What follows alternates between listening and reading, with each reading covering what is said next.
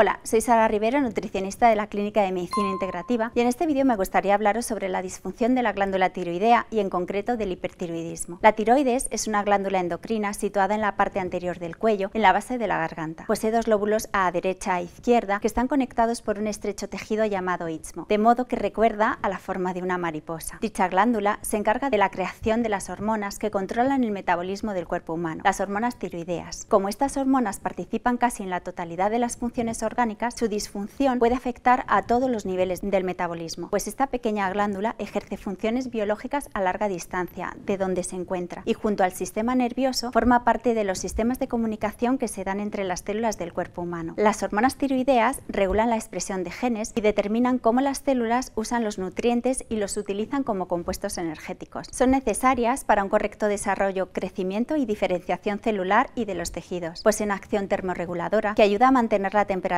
corporal y tienen funciones esenciales en el funcionamiento del corazón, en la formación de la sangre, en el desarrollo del sistema nervioso y en la regulación de otros sistemas hormonales. Además, participan en actividades como el normal funcionamiento del cerebro, de los músculos, del intestino y del tejido óseo, entre otras. Cuando las hormonas tiroideas son vertidas al torrente sanguíneo, activan señales celulares en receptores muy específicos de las células, desencadenando cascadas biológicas que modifican el funcionamiento del organismo. Existen dos hormonas tiroideas principales, la tetrayodotironina o tiroxina o T4 y la triyodotironina o T3. Ambas son controladas por una hormona sintetizada en la glándula hipofisiaria del cerebro denominada tirotropina o TSH. La tirotropina estimula la producción de T4 y T3 y es un excelente indicador ante las alteraciones que se puedan producir en las hormonas tiroideas. Entre las alteraciones que se pueden desarrollar en el funcionamiento de la tiroides se encuentra la hiperfuncionalidad de la glándula o hipertiroidismo. En el hipertiroidismo se produce un estado hipermetabólico por un exceso de hormonas tiroideas circulantes, por una producción sostenida en el tiempo